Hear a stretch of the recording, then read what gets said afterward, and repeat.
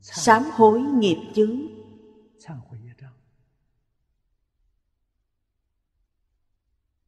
Là từ vô thị kiếp đến nay, đời này sang đời khác. Trước khi chưa nghe phật pháp, làm sao tránh khỏi tạo nghiệp? Ngày nay, chúng ta suy nghĩ kỹ càng, tự mình cố gắng phản tỉnh. Tự mình có tạo tội nghiệp của địa ngục a tỳ hay không? Có tạo tội nghiệp vô gián địa ngục chăng?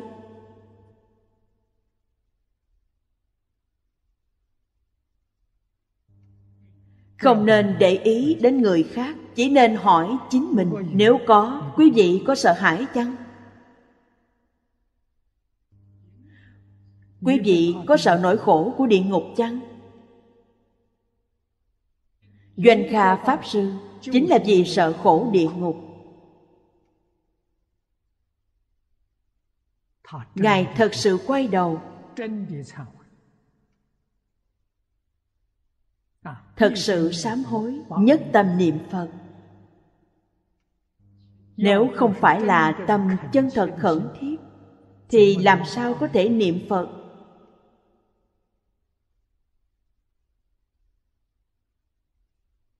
Suốt ba ngày ba đêm không ngủ không nghỉ.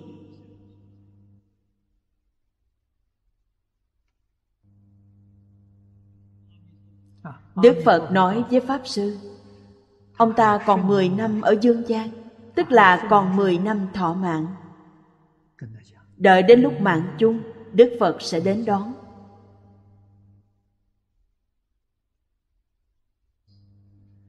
Pháp Sư có trí huệ.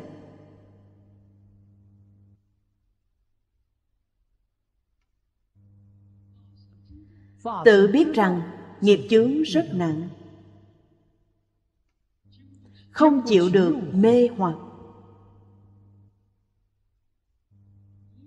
Sự hấp dẫn của ngũ dục lục trần ở ngay trước mắt không phải là phạm tội nữa sao?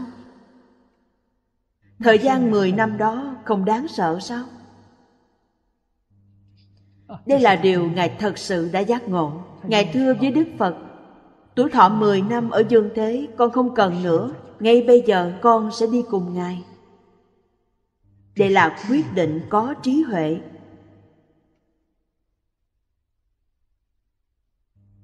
Đức phật nhận lời và ngài nói, ba ngày sau ta sẽ đến đón ông. Đúng, ba ngày sau, không hề bị bệnh, ngài liền được giảng sanh.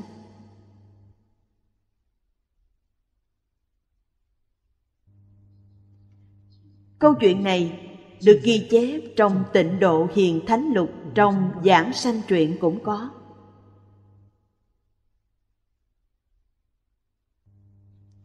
Những câu chuyện này là tấm gương tốt nhất cho chúng ta. Tạo tội nghiệp vô gián địa ngục như pháp sư doanh khả, niệm phật ba ngày có thể sám hối tất cả.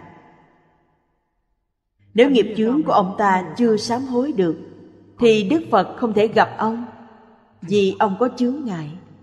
Khẳng định nghiệp chướng đã sám trừ, nên đức phật mới xuất hiện. Cũng chứng minh,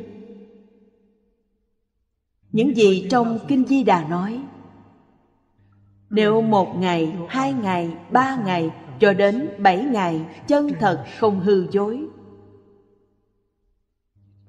hoàn toàn không phải giả. Những chân tướng sự thật về đạo lý này thật sự đã thấu triệt. Thì bất cứ là thiên tai gì trong thế gian đều không chút sợ hãi. Vì sao? Chúng ta có đủ thời gian để gặp phật.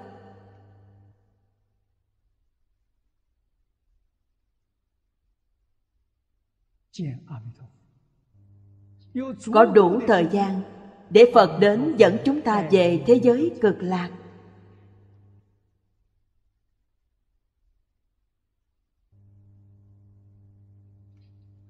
Đây là thật hoàn toàn không phải giả.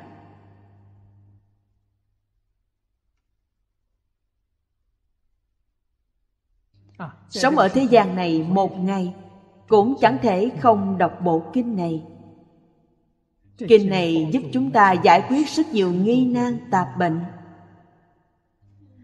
Giúp chúng ta kiến lập lòng tin chân chánh và khởi phát đại nguyện cầu sanh tịnh độ.